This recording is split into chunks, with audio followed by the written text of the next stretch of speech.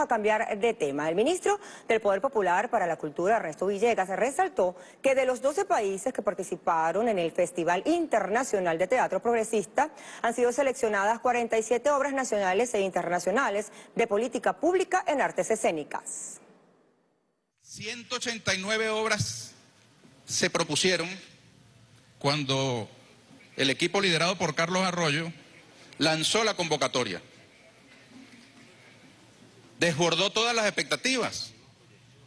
Hubo que seleccionar 47. Quedó un montón de propuestas por fuera.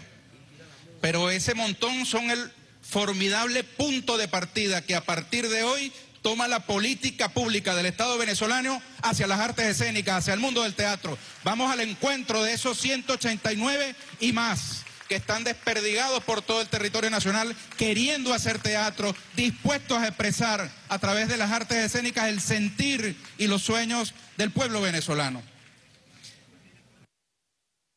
En la clausura del Festival Internacional de Teatro Progresista fue condecorado Alberto Rowinski, quien destacó el crecimiento cultural de Venezuela a través de estos proyectos teatrales.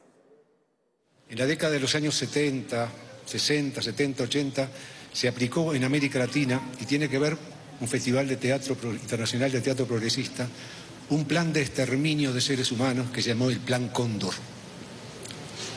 Es terrible, desapariciones, torturas, todo lo más lo peor que se pueda imaginar un ser humano que pueda ser otro ser humano sobre otro ser humano.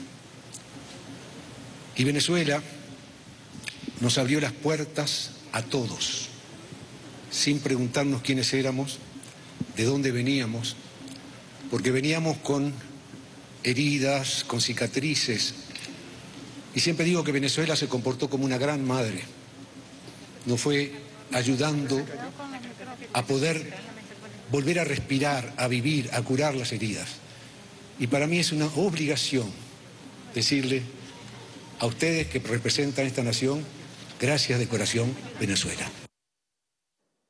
Asimismo, el fundador de los grupos de teatro infantil manifestó su agradecimiento tras ser condecorado en este encuentro de obras en la que se expresa el pensamiento crítico y humano.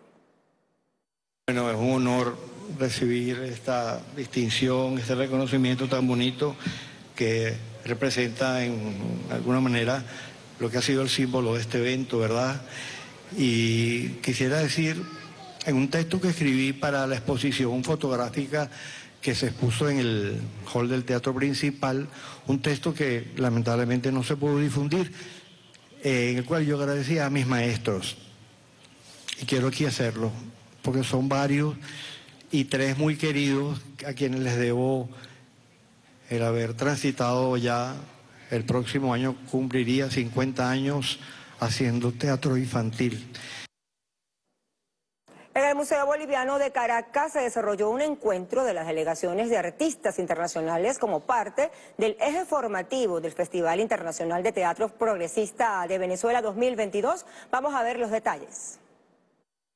Delegaciones internacionales de Burkina Faso, Argentina y Perú se reunieron para conversar sobre el carácter progresista de este festival que reunió a 12 países.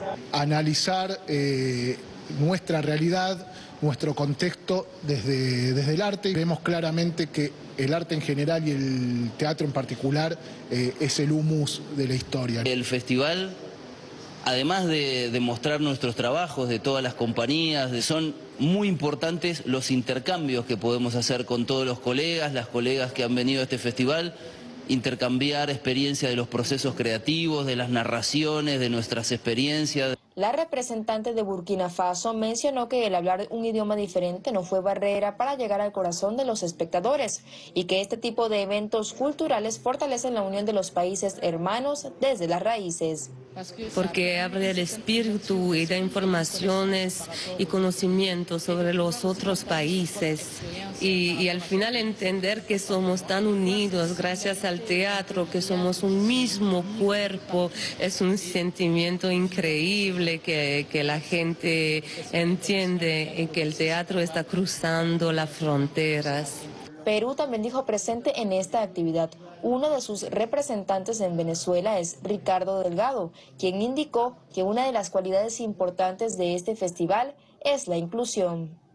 Este proyecto ha sido muy inclusivo, ha sido muy abierto, eh, donde uno podría ir al teatro, cosa que a veces es difícil en otros países como el mío de que hayan entradas libres y que esto haya sido muy importante de que las personas puedan ir sin ningún tipo de restricción. El Festival Internacional de Teatro Progresista Venezuela 2022 está compuesto por cinco ejes. El eje de formación es parte importante de esta fiesta teatral, ya que promueve el intercambio de ideas y la unión de los pueblos mediante las artes escénicas. En la cámara de Gabriel Fuentes, con la asistencia de Euclides Godoy. Reporto para ustedes, Daniela Rodríguez, La Noticia.